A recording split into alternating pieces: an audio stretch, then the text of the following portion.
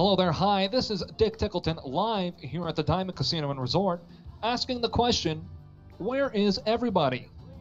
Known as one of the pillars of Los Santos, the Diamond Casino has recently been experiencing a significant dip in patronage to their establishment.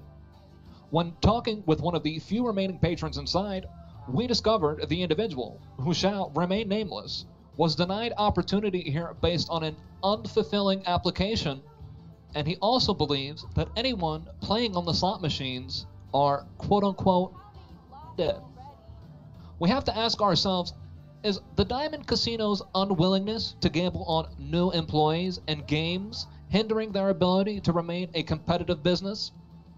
We here at Weazel News are here to ask the hard hitting questions and bring you, the citizens of Los Santos, the answers you deserve.